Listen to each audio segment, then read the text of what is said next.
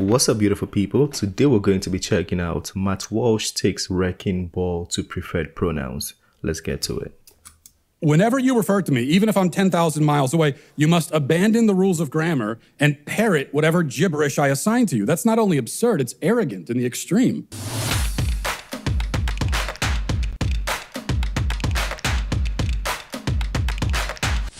Okay, the trans agenda has infiltrated our society largely through language. And I don't mean that the gender ideologues use language to make compelling arguments. Not at all. Rather, they, they manipulate language itself, they make it into their pet. They talk about preferred pronouns, but a pronoun is a grammatical construct. It has to be deployed according to the laws of grammar, not the fickle whims of the individual to whom it refers. Mm-hmm. You know, if I'm if I'm standing on this stage and you want to communicate to somebody else about the fact that I am standing on this stage, you will say, he is standing on that stage. It would be grammatically and factually incor- incorrect, excuse me, to say she is standing on that stage, oh, as dang. she denotes a human female, which I am not. It would be incorrect to say they are standing on the stage, as that indicates more than one person on the stage, mm-hmm. which there is not.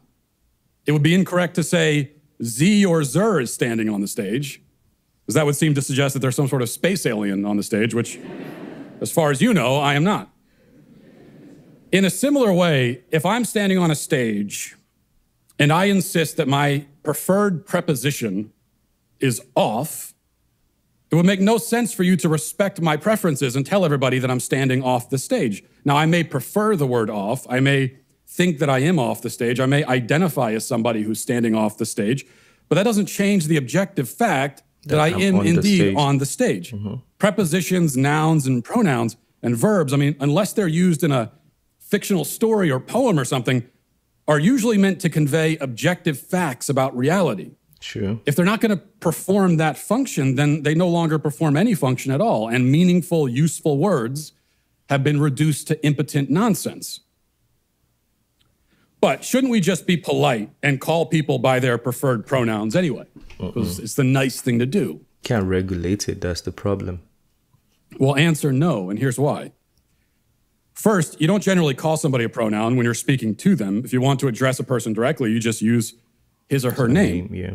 And a name can be whatever you want it to be. I mean, if a woman says her name is Fred or a man says his name is Sally, I'll call her Fred and him Sally because names are, by definition, personal, basically arbitrary, Pronouns are objective and also generally more distant. You're usually called by a pronoun when you're not physically present for the discussion.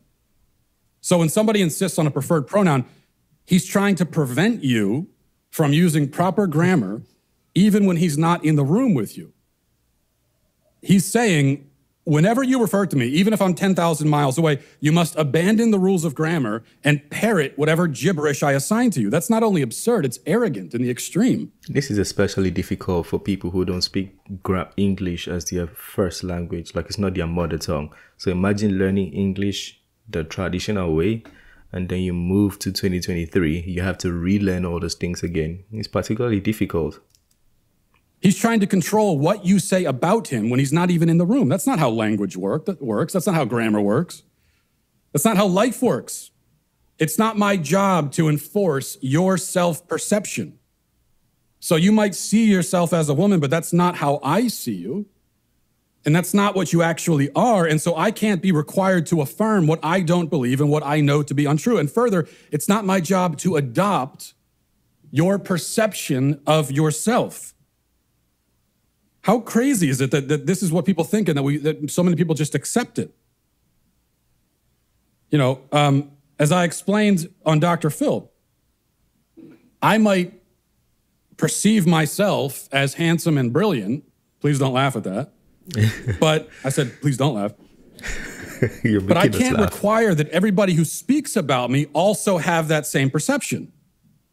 I can't say to you, well, I see myself this way, and so you have to see me that way. Again, that's just simply not how it works. My self perception is not a project that the whole world has to take on. So that was another video by Matt Walsh. The man is always going to hold his ground regardless of what you say.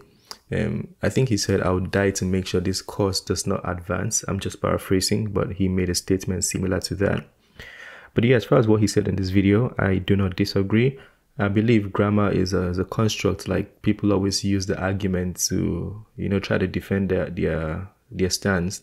But even as that, it was made to describe something. It was made to um, describe objective reality or the truth. So when you use it the wrong way, or if you use it to describe something that is not objective or objective reality, then that becomes false. So you can't force people to use the wrong grammar. If I'm seeing A and you're telling me A identifies as B, it doesn't make any sense. Like already my head is is not comprehending what I'm saying. I'm speaking to the camera right now, but my head cannot fathom that. And that's how it is, you know. You cannot force people to withhold something they don't see as true. Anyways, these are just my thoughts. I'm not a professional. Matt Walsh might be. Um, I'm just sharing my thoughts speculatively, you know. So feel free to talk to me in the comment section. Is the end of this video. Smash the like button, subscribe if you're new to the channel, and I'll see you on the next one. Have a very wonderful day. Peace.